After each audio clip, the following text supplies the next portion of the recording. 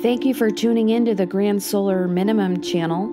Yesterday, Giant Sunspot AR3615 produced another X1 class solar flare. The explosion on March 28th at 2053 UT ionized the top of the Earth's atmosphere and caused a deep shortwave radio blackout over the Pacific Ocean.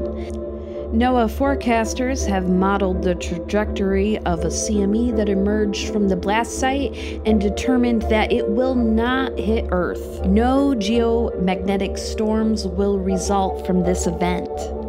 Jake should be doing a 1 o'clock uh, live show tomorrow, I think.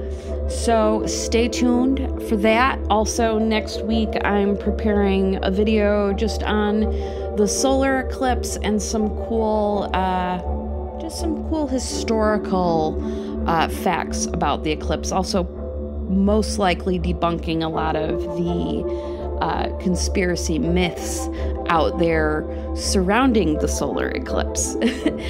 so, you guys have a great day, uh, and thank you for tuning in to the Grand Solar Minimum channel. Do you like this show? Give us a thumbs up. Want to support us more? Share to your favorite social media platform, buy a t shirt, or become a Patreon. All links are in the description below.